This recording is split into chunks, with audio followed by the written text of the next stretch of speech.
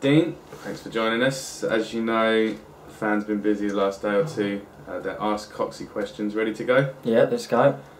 Uh, Evie Stark, which former Orient player do you miss playing with the most? Hmm. Obviously, Jimmy Smith's my good pal still. Um, but I'd have to say as well, Dawson. As well, Dawson, I think uh, was a fantastic player for us. Simon Edward, footballers are prone to strange pre-match rituals. What's the strangest one you've personally witnessed? Lloyd Owusu would make himself sick, proper sick, before every game. Every game.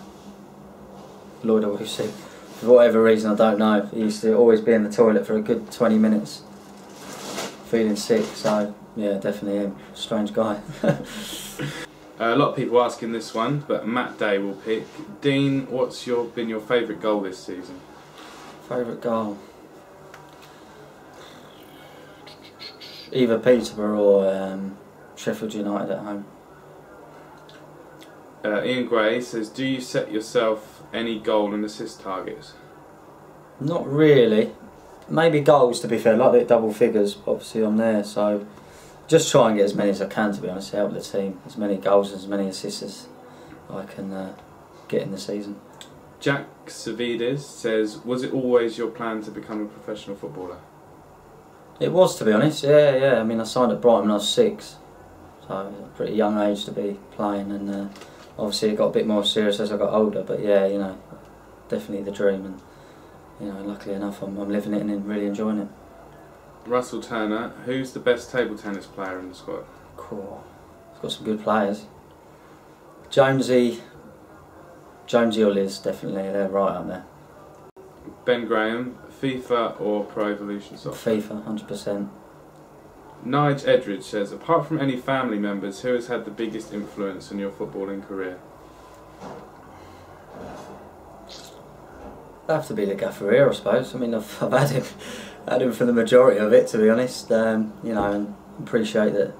You know, the contracts he's given are paying my mortgage off. So, you know, um, working well with him, and you know, obviously everyone knows the sort of relationship we've got. We get on really well. You know, I've known him many years, so uh, obviously the gaffer's helped me out a lot. But uh, yeah, Karen Harrison, she says, what has been your favourite game during this wonderful season so far? sure, that's hard. So yeah. Um, again, I'd have to say Peterborough for the amount of fans and the result we got, and and obviously Wolves away with the the massive crowd there of 28,000 and, and 2,000 or, or um, 2,000 Orient fans being there. So yeah, I'd have definitely have to say Wolves and Peterborough again. Who's, uh, this is from Simon J, who's the best right back you've come up against so far in your career? Hmm. It's a few. I'd have to say at the moment, uh, I can't remember his first, second name or first name. Christie at Coventry, right back. Cyrus Christie. Yeah, very, very good. Very attack minded. So uh, you definitely know you're in a game with him. You've got to keep uh, keep a lookout for him. Not only going forward, but defensively, he's he's a very quick player. So uh, yeah, definitely him. Steve Coleman, what would you like to do at the end of your career? To be fair, I've been contemplating that the last few weeks. I think, to be fair, I'm going to do my coaching badges in the summer. Um, I'm not too sure uh, if I'd like to be a manager or not. Maybe as I get older, that might be more appealing. But I'd, I'd definitely like to be a coach. Robert Hawks, what has been your favourite moment in an Orient shirt? Favourite moment? Getting the replay against Arsenal, obviously. Um, playing at the Emirates. Um, and this season, really. I mean, it's been a fantastic start, and you know we've got a very good side, so you know I'm really enjoying it. Uh, Paul Moran says, who's the best dressed and worst dressed player at the O's? Best dressed. Other than myself, best dressed. Um, I think Mo's got a bit to be fair. Moses, Moses, you know, he, he has a look on the internet and does a, does his own work, so to speak. The worst, cool, we've got a few here. Uh, I'd have to say Marv because he comes in with the same Adidas grey tracksuit at least three times a week, so definitely Marv. Uh, a few people asked this one. Andrea Edward Gray, do you enjoy the Tiny Cox chant? Do I enjoy it? Um, personally, not really. Obviously, because it's a bit bit of a Mickey tape, but it's something that's stuck, and I'm all for banter. You know, I don't mind it at all. Um, you know, as long as I'm hearing it, I know I'm doing something right. So, you know, long may it continue. Ben Graham, who is the nicest player you've played alongside during your career? Nicest, nicest guy. I'd probably have to say.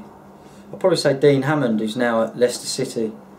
He was um, my captain at Brighton when I was 18 years old, and you know he'd take the time out to speak to me and, and make me feel good about myself. And uh, you know he's gone on to have a very good career. Ryan Donkin, can you swim? I can. I know I'm only five foot five, but um, yeah, no, not a bad swimmer at all. Quite quick. Yeah, not bad. Uh, Lee Kinsley, if you could play alongside any player in the world, who would it be? Cristiano Ronaldo. Nick Clark, if you could only eat one food for the rest of your life, what would it be? A 12. Lee Swallow, have you ever had or would you ever grow a beard? Gotta be honest, I don't think I can grow one to be honest. it gets to a certain stage and just stops, so uh, no, I don't think there's any chance of a, a beard coming along.